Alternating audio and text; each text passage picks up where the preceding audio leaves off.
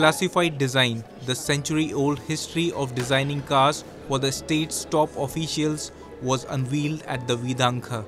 The first Soviet limousine came off the assembly line of the Putilov plant. At that time, production specialized mostly in tractors, and when their model became obsolete, they decided to use the line for luxury cars. Это было таким символом индустриализации. Для полноты герба вот этой вот индустриализации не хватало одного – это автомобиля. Кузов – деревянный каркас из дуба и ясеня, обшит э, жестяным листом на гвоздях прибитым. Это все сохранило. Удивительно. The experimental prototype by the designer Yuri Dolmatovsky could become a breakthrough in the Soviet car industry as the ideas were so innovative rear wheel drive and no bonnet.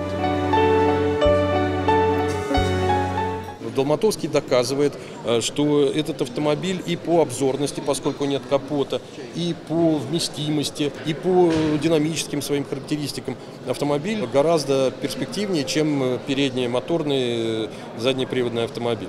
И мечтает он о том, чтобы на таких автомобилях э, ездили первые лица страны.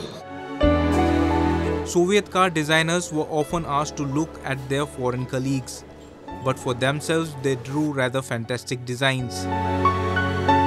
Эпоха оттепели, наступившая в Советском Союзе в 60-е годы, э, во многом изменила все аспекты жизни нашей стране, в том числе и автомобильную тематику.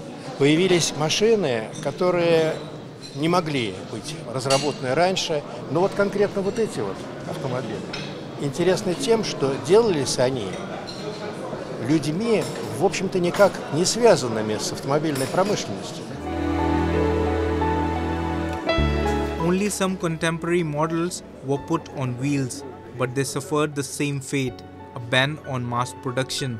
In the mid 80s, an amazing car couple was created a dark sedan, Misha, and light one, Raya, in honor of the Secretary General Mikhail Gorbachev and his wife.